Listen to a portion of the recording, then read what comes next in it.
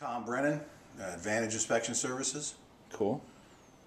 And we're doing the, uh, the out brief of the inspection at 19700 North 76th Street, Unit 2073 in Scottsdale.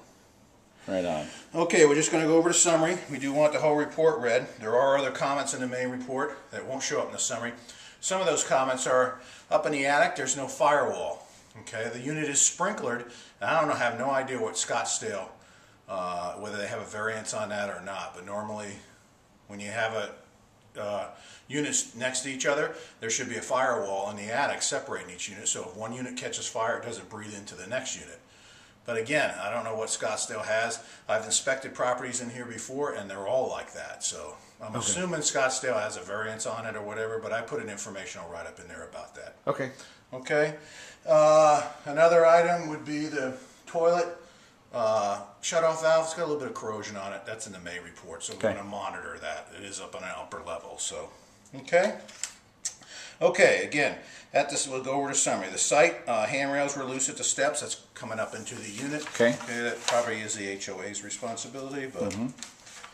Uh, attic and roof, you have three types of roof here. You got a concrete roof, you got a roll roof where the units are, or the air conditioning units are placed, and that's right over the garage. Okay. And then part of that area, you have a composition shingle roof where you have a transition area up to get up to the air conditioning. Okay. Okay, so, uh, as far as a roll roof, uh, you need a little maintenance on that thing. There's uh, cracking and gouges in it, and that's usually from maintenance guys being up there dragging their tools across working on those air conditioners. So, Okay. uh, and they've got some granulation loss on that roll roof, which is just showing its age. Right. So. Uh, the garage door opener button is mounted too low for child safety.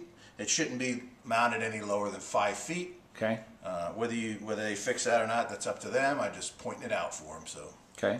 uh, plumbing, the gas is off at the main. So yeah, so I can't. The only thing that's gas in here is the water heater. Okay. You have a heat pump, not a gas. Okay. So, so I can't check the the water heater. Okay.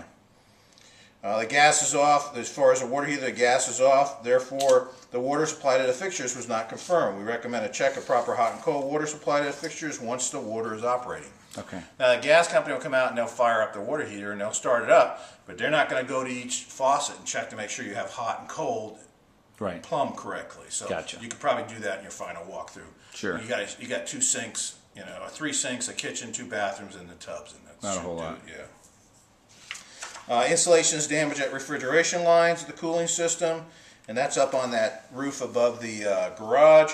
Just some of that foam uh, insulation is missing, and the sun Sure. does that. So uh, the filters are dirty in the return air, so we want to get those changed. Uh, electrical loose outlets noted in the master bedroom, and I put tape on every one of them. So you just pop the cover plate, tighten the outlet up in the box, and you should Okay. be good to go. Uh, ceiling fans wobble. The office and the master bedroom, Okay. or mas- yeah, the office and the master bedroom. Those fans wobble a little bit.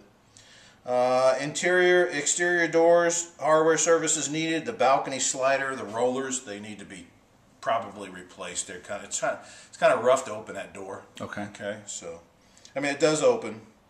Uh, exterior door screens are damaged. That patio slider screen's got some holes in it. Okay. Uh, the walls and ceilings have typical damage, cracks, nail pops, dings, dents. There is some wallpaper peeling that may be associated with moisture intrusion from the window being left open, and that's in this dining room area right here. Let's see that Oh, wallpaper yeah. peeling. Yeah. And I put my moisture meter. Actually, there, I think it's they're gonna they're gonna take this off as far as Yeah, the well, stuff good, goes. so they can look at that. And I banged that wall, and it's solid. So, but it does look like a window was left open. Yeah. Probably. Okay. Okay.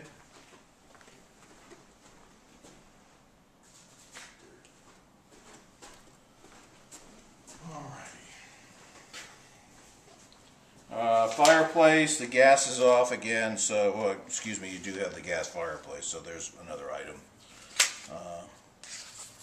Uh, So the gas is off the fireplace, so that we couldn't check that, so you, the fire, or the fire department, the gas company will operate that fireplace if they have Okay. access to the unit. Okay. Again, they're gonna have access, they're gonna have to have access to the unit in order to turn the gas on. Yep. Kitchen, the bridge element did not appear to operate.